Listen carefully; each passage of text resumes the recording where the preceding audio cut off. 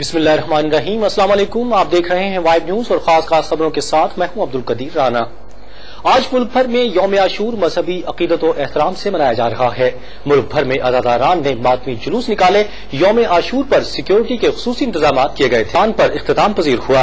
अटक में योम आशूर के दिन दस मुहर्रमुल हराम का जुलूस इमाम बारगाह हुसैनिया कामिलपुर सैयदा से बरामद होकर अपनी मंजिल पर पहुँचा। इस मौके पर सिक्योरिटी ने मुकर रास्तों से होते हुए मरकजी इमाम बारगाह शदादपुर में योमी आशूरा का मरकजी जुलूस इमाम बारगाह हुसैनी से बरामद हुआ और मुकर रास्तों से होता हुआ वापस इमाम बारगाह हुसैनी पर ही इख्ताम पजीर हुआ। मातमी जुलूस की सिक्योरिटी के लिए पुलिस, रेंजर्स और शहरी दिफा के रजाकार तैनात किए गए थे। शहजादपुर में पचास से जायद मकाम से जुलूस निकाले गए। टंडो मोहम्मद खान में हुआ। कसूर का मरकजी जुलूस इमाम बारगाह हुसैनिया पर इख्ताम पजीर हुआ। मुजफ्फराबाद, आज़ाद कश्मीर में मरकजी जुलूस कमेटी चौक पर पहुंचकर इख्ताम पजीर हुआ। सखर का जुलूस रोड़ी रेलवे स्टेशन पर खत्म हुआ।